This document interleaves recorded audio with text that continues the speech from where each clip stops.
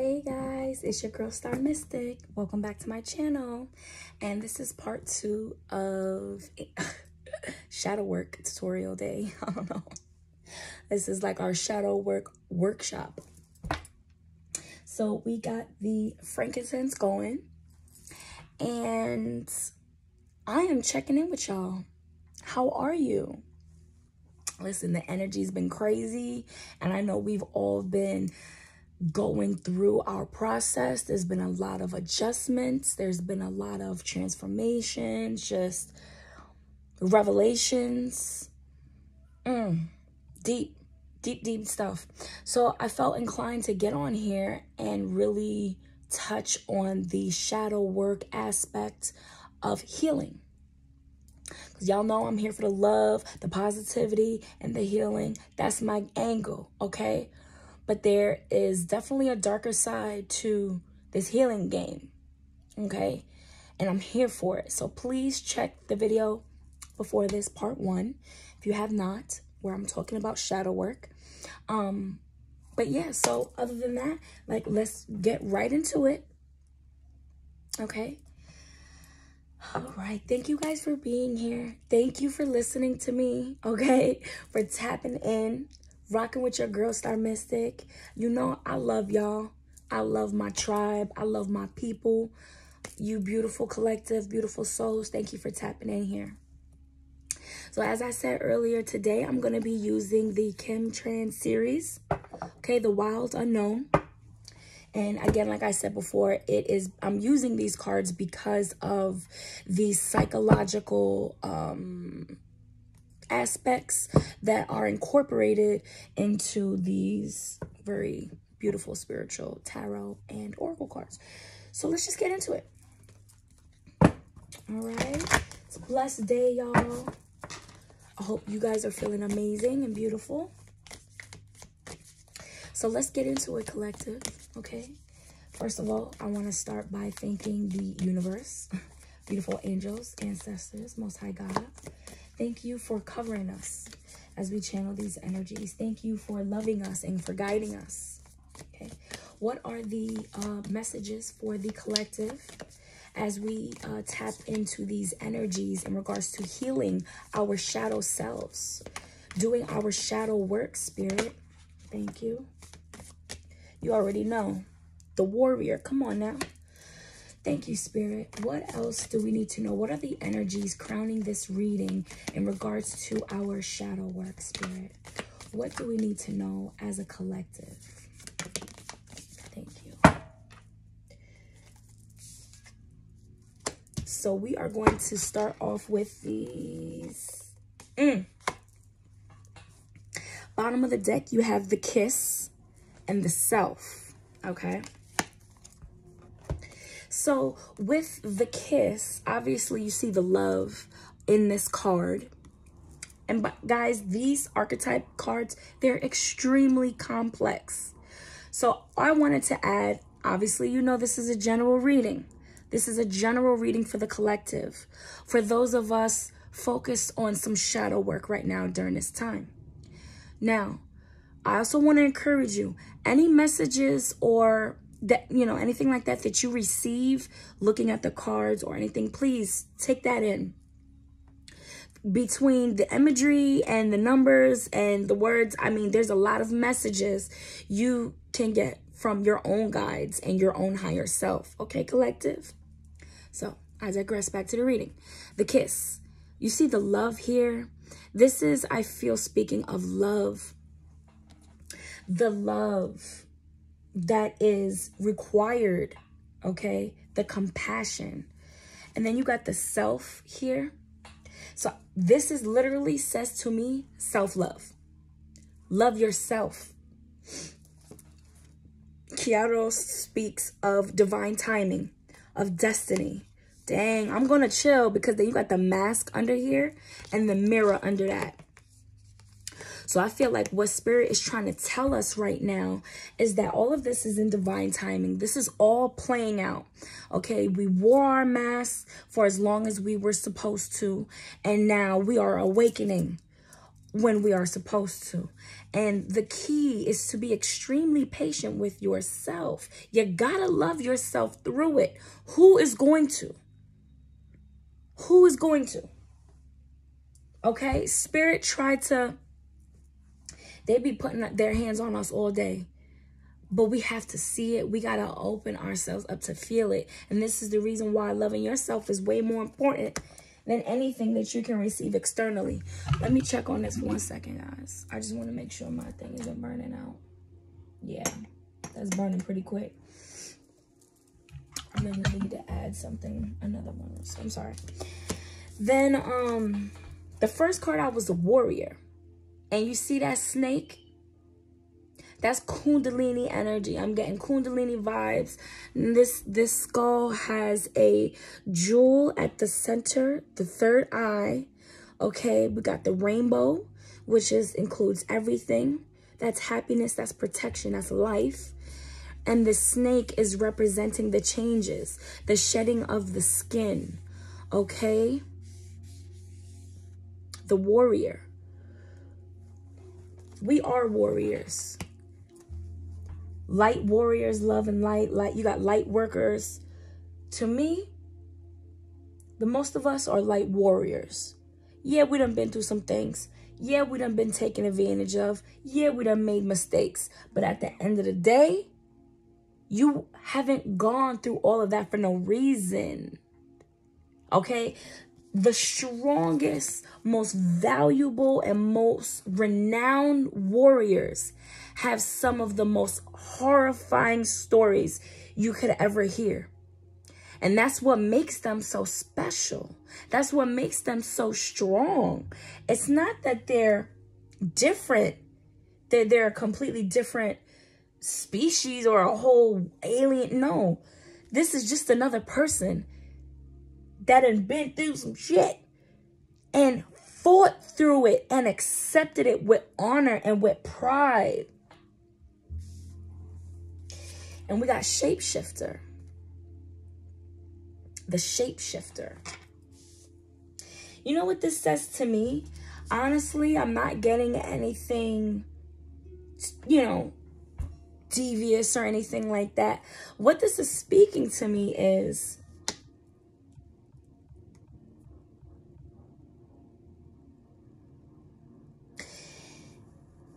understanding that you are in everything. Understanding that we are all one. Under you you've got to see an aspect of yourself in everything okay?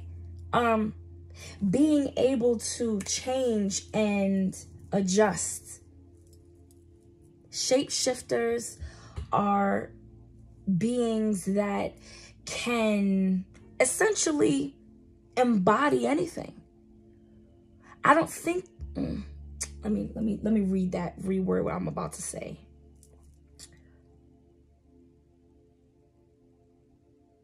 I don't necessarily necessarily believe that it is I think the key, I'm, I'm sorry, I'm trying to be really careful and not touch on something that don't need to be touched on. But basically, I feel like the key here is unlocking a really deep power and strength within yourself so that you can see when you are weak, when you have been weak. You can see when you're strong. You can see yourself in not only the enemy, but in the creator. Not only in what's wrong, but what is great. Don't look down on the ant because you were one once. You were the ant okay? And don't look up and see the great eagle as the majestic being that you will never become because you are that too. I hope this is making sense. I hope it's I hope you're following because I don't know if I understand. I do understand myself and I know what I'm trying to say and I hope that it's making sense out there, baby. All right. Thank you, Spirit, for these um messages. Thank you for this energy. Okay, this warrior energy, this shape-shifting energy. Okay, so what I also just got was that the warrior is who you are. It's who what is inside of you. The shapeshifter is what you let everyone see. Is how you may come off to the world or you uh, you're you're quickly to adjust yourself. See, everything has a different side. See, I'm getting that too, so it's like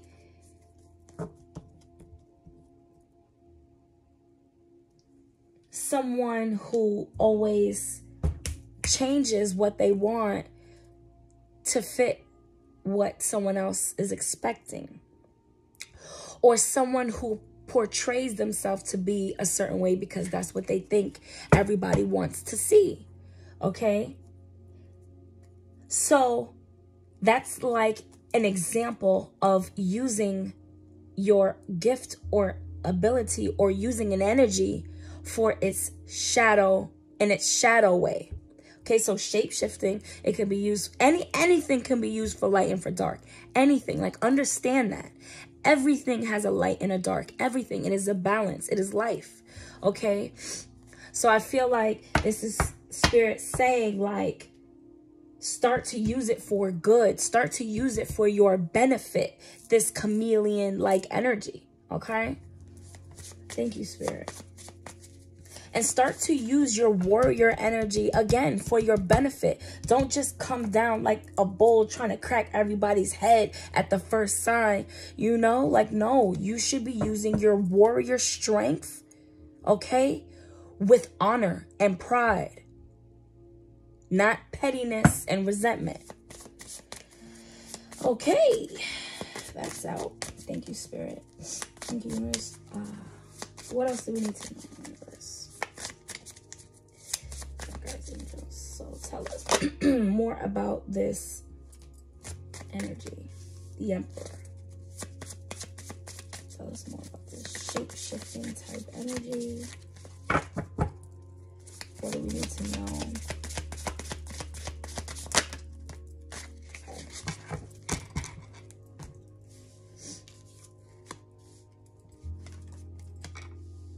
So I'm getting a lot of masculine energy over here with this shapeshifter card. You got the Emperor and the Sun. The Emperor is like that Aries type uh, masculine energy, and the Sun is Leo. That Leo and Sun energy. You got the Mother of Pentacles, which is some Earth energy. And the Seven of Wands, which is more fire.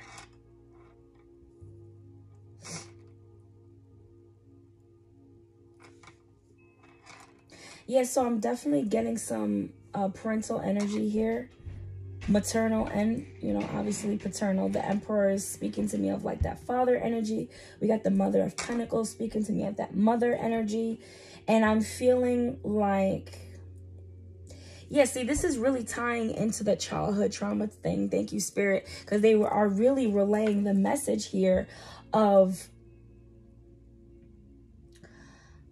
this is making me feel like there were times when you had to embody certain things just to survive. Thank you, Spirit.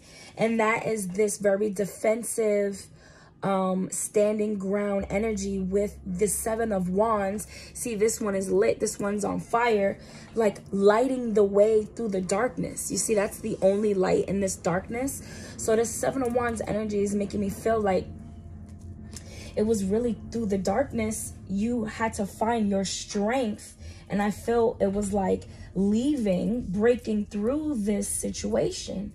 And unfortunately uh, that's that's a hard lesson that we have to learn is that parents are not perfect. They are literally just another pair of humans damaged hurt traumatized humans for the most part not everyone that is just trying to live this life and they, they've made mistakes. They were living in their shadow selves. Okay? And I really feel like this card, like the sun, is speaking of all the hope and the power and everything that we're doing. We, yes, we, the collective, us, you, hope, healing. Okay? This is a lot of strength and power in this card. And it's just making me feel like this was the past. Okay?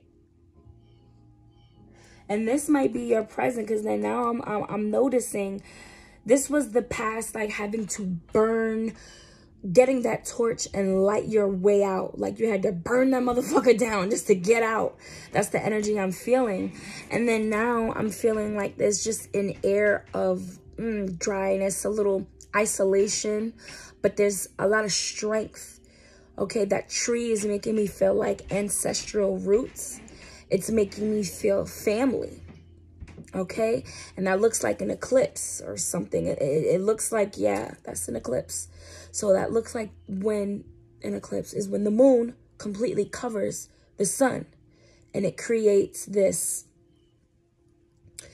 you know, this visual thing. And it is, the energy is extremely unique and special and powerful. But an important thing I think noted here is the inability to see something. So basically that is work being done behind the seed, the scenes. Your seeds that you've planted growing. We can't see what goes on under the dirt. But all we know is one day we wake up and there's a plant sticking out. He been pushing through that dirt for a minute. We just haven't seen it. Okay? So that's that's what this energy is making me feel like in the present. And this is making me feel like future energy undeniable success, irrefutable growth and brightness and light, healing. Anything you touch is going to be successful in everything you want and more. But you have to nurture yourself. You know, this little baby is really standing out to me. This tells me forgiveness okay the mother of pentacles is the queen of pentacles. That's that earth energy. This is that motherly energy that wife energy that healing nurturer that also is financially uh, stable or stable in the material stable in the in the physical. That's just is telling me to forgive. You need to forgive yourself you need to forgive your mother. You need to forgive your father. You need to forgive your grandparents. You need to, whoever raised you. You need to forgive. Okay. You have to.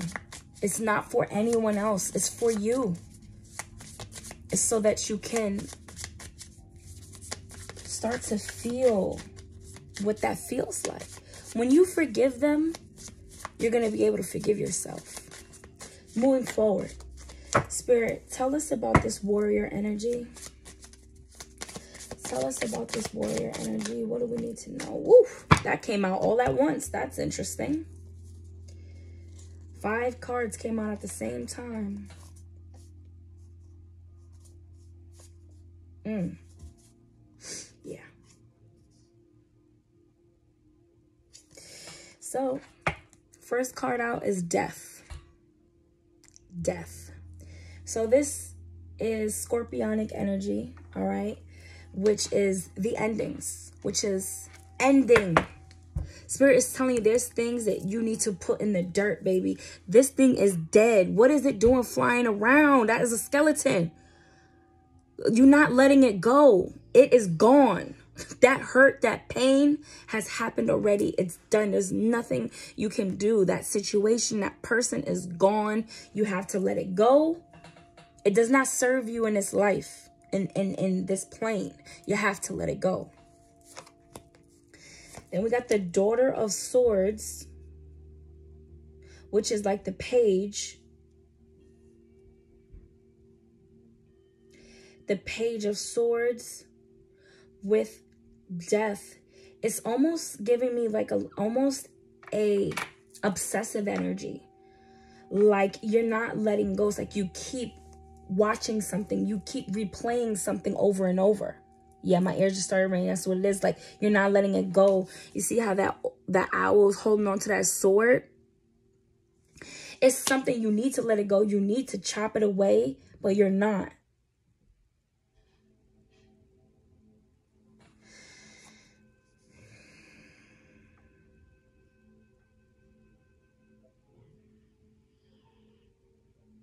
I'm, I'm sorry. Please give me a minute. I'm just trying to go a little deeper with this energy and trying to see what is it? What is it that we're not letting go? We keep looking back, looking forward. Looking back, looking forward. Maybe why did this person abandon me?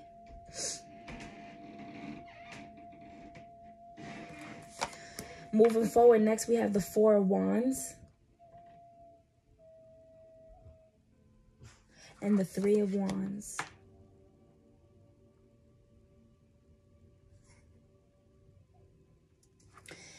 Daughter of Swords, which is another, I'm sorry, Daughter of Wands, page, another page. Mm. This is child energy. This is childlike energy. To see all these daughters, mother, daughter. This is interesting. This is very interesting why I even picked this deck. So, fire and air. A lot of fire. This is all fire here. Death. It's giving me... Oh, yeah. Okay. I got you. Hold on. Give me one second. So, very interesting. See that snake on that warrior? And there it goes. This daughter. This is telling me there's a lot of healing that still needs to be taking place.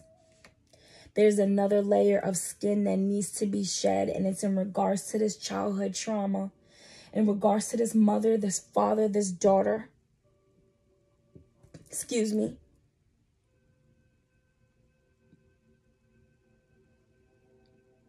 I'm sorry, please. Excuse me, this is energy. it's because you're a boy. Oh, my dog is sleeping, so he might be making sounds. Sorry. It still relates to you. You get what I'm saying? I'm sorry. Let's go back. So the four of wands with the three of wands. Yeah, this is really making me feel like what didn't, what aren't we letting go? It is these foundations. It's what, what we were based off of our, our security. This is definitely speaking of a home life and how unstable it was I feel like there were many times where you were planning or maybe the family, excuse me, was planning to move or was planning to adjust or was just planning or waiting on something and it just never happened. It never happened. And now there's like an obsession or a predisposed energy like you don't even realize that you obsessively worry over a home. It's something about a home, a household home, home life. And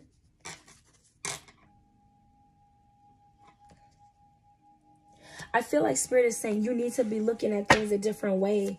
You need to let it go. Give me one second. Let's get some more clarification on this energy spirit.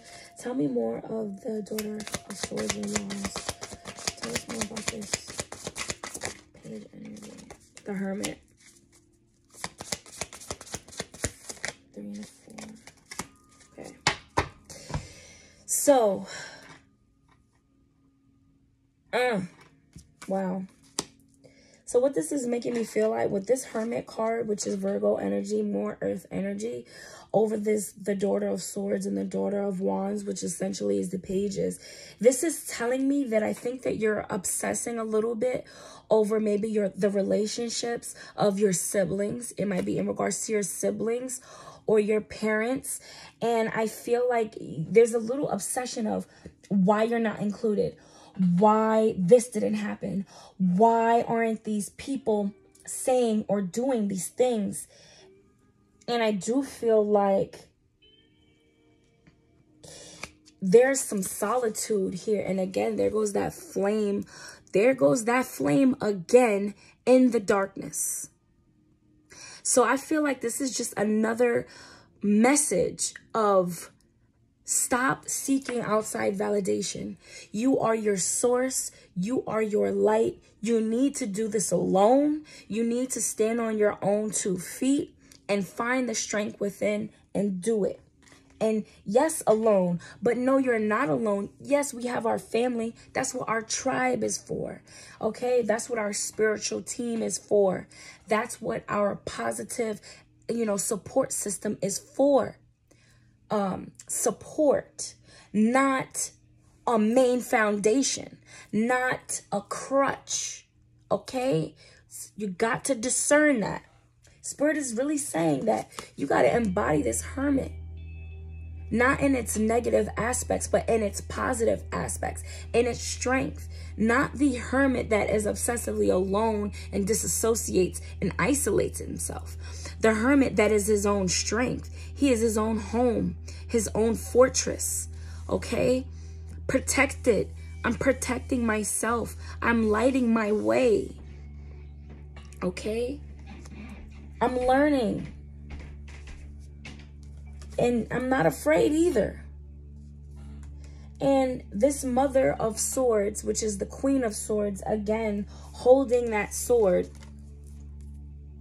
But the difference is, instead of just flying with this kind of aimlessly. It's pointed down. She's ready to she's ready to put the hammer down. Okay? She now is looking forward, directly forward at you. I know. Now I realize. Now I know what I need to do. Now I know I need to create my own. I need to destroy this old, outdated paradigm. It's done. I find strength in my new beginning. Amen. Thank you, Spirit. Okay. That's the word on that. So let's go in with the uh, animal spirit cards. Okay. And let's tap into some energy. Okay. So you got the fish and the nightingale.